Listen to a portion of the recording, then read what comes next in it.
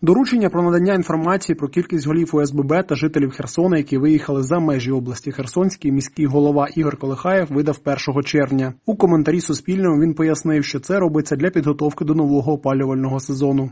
Таке розпорядження було видано для того, щоб розуміти, які будинки у Херсоні залишились без голів ОСББ, бо певна кількість керівників змогла виїхати з тимчасово окупованого міста, а заступник керівника Херсон Теплоенерго міг прийняти рішення про подачу тепла у такі будинки. Міський голова говорить, що потреба у такому дорученні виникла через великі заборгованості за тепло. Одна з голів ОСББ телефоном розповіла, що її колеги не є підлеглими міської влади і тому не зобов'язані виконувати такі укази. Це робиться тільки за власним бажанням.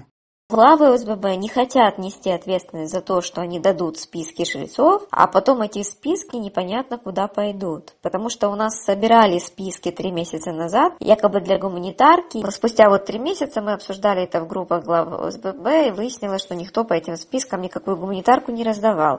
Херсонець, який залишається у місті, розповів, що про таке розпорядження чув, але його зміст йому видається дивним.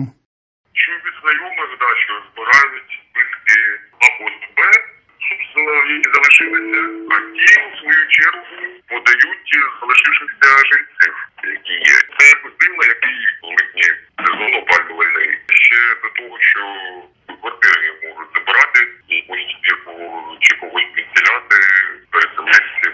Не зрозуміло це все. І всі ці списки